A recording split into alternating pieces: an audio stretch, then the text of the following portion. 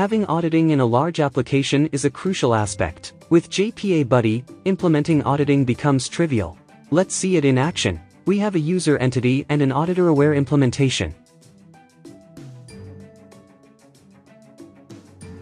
The application will use auditor-aware string impl to automatically set name of the current user into created by or last modified by columns of the audited entities. Now, let's add audit fields to the user entity.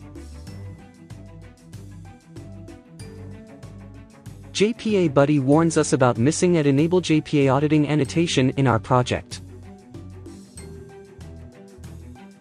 Let's fix it.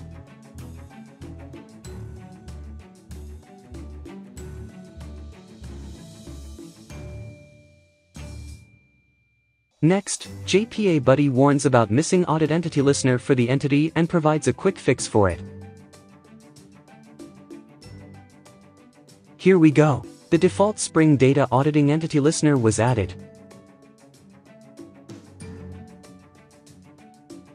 What's even more fantastic, JPA Buddy is able to detect auditor-aware implementations in our project and suggest corresponding auditor type.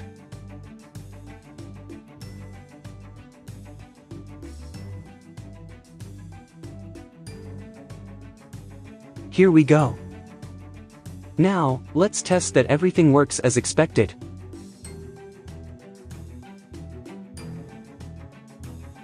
First, we mock the security calls and specify name that will be returned. Next, we create a new user and verify that created by and created date values have been set.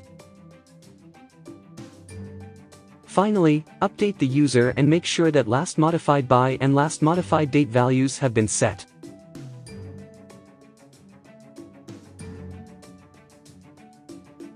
Works like a charm.